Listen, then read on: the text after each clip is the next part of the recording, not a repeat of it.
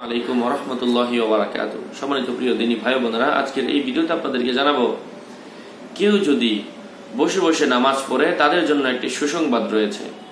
আলোচনা বুঝতে সাথেই থাকবেন, আমাদের চ্যানেলটি সাবস্ক্রাইব করে পাশেই থাকবেন।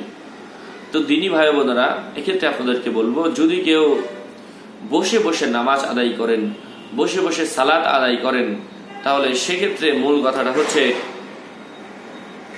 ফরজ নামাজ আল্লাহ রসুল সাল্লাহ আলিয়াল্লাম সর্বাবস্থায় ইউসল্লি কা ইমান দাঁড়িয়ে নামাজ পড়েছেন।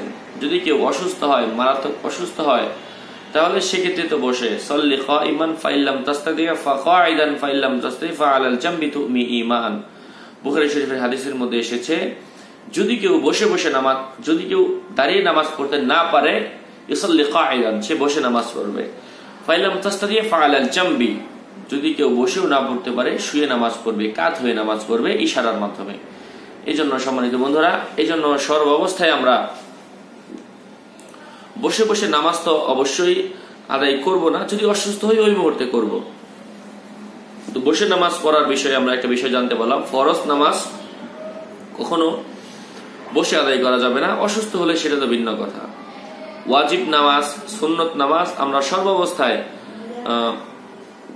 দাঁড়িয়ে দাঁড়িয়ে আদায় করার চেষ্টা করব। তারপর আমাদের নামাজটা যদি এমন হয় যে এই নামাজটা নফল নামাজ, অথবা সুন্নতে যা এদা যে সুন্নত নামাজটা সবসময় পড়া আবশ্যক না। যেমন জোহরের আগে চার রাখার সুন্নত, এটা মোয়াক্কাদা। কিন্তু জোহরের পরে যে আমরা দুই রাখার সুন্নত পড়ি, তারপরে আরও দুই রাখাত আছে। এগুলো হয়তো আমরা অনেকে জানিও না।